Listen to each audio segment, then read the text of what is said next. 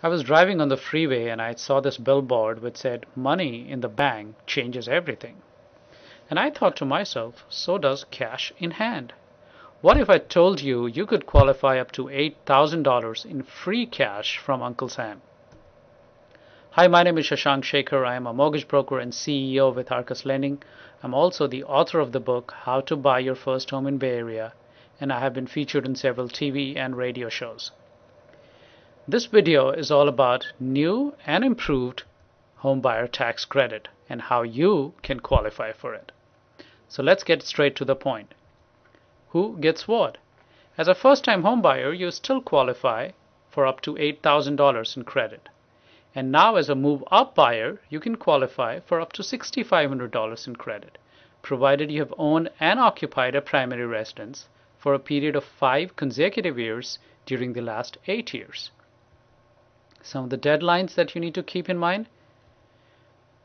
All contracts need to be effect no later than April 30th, 2010, and you need to close your transaction no later than June 30th, 2010.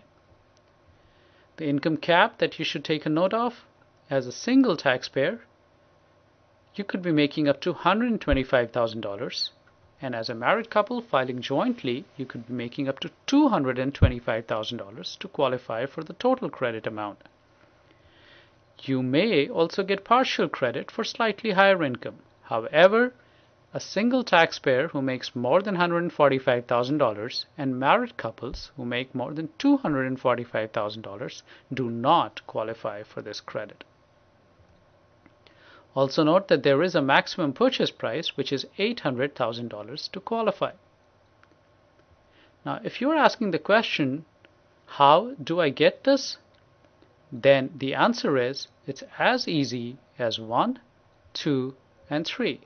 Let's get to step 1. You find yourself a lender, someone like me, and get pre-approved. Find out how much mortgage you can qualify for. Once you have found that out, go to step 2. Find a realtor and with the realtor's help find a home that fits your criteria of size, convenience, and value.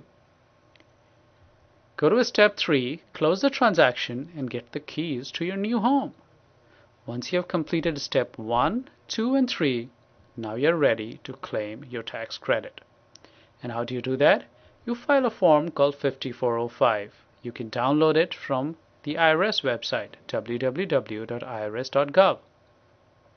If you have already filed your tax returns for this year, you do not need to wait till next year to claim the credit you can simply file an amendment to your taxes and the form is called 1040X. I always advise my clients to consult their tax preparer or CPA about this. Also, if you have the question about what can you do with this credit, the answer is anything that you want.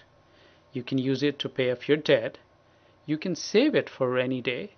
You can save it even for your child's college tuition spend it on vacation, or do anything else that you can think of. So in closing, I would like to say that the time to buy has never been better. I just talked to you about the home buyer credit where you can get up to $8,000 in free cash. The mortgage rates are at the lowest levels in decades. They are in the 5% range. And also the property prices are heavily discounted. In some areas, they are down 20 to 30 percent in just last couple of years. But note that all three come with some kind of deadlines. The homebuyer credit expires on April 30th in the sense that you need to be in contract till then. The mortgage rates won't last forever because the rates are projected to go up next year. And the property prices in some areas have already started stabilizing and even moving up a little. So if you were considering to buy a home, this could be the best time to do it. Finally, if you have any questions about this homebuyer credit or any other lending related question, feel free to call me at 408-905-6261 or email me at shashank at arcuslending.com. You can also connect with me on social media sites like Facebook and Twitter. And remember to visit my blog site, lendingexpertblog.com to keep yourself updated on everything that's happening in the mortgage and real estate industry. Thank you for watching. Have a great day.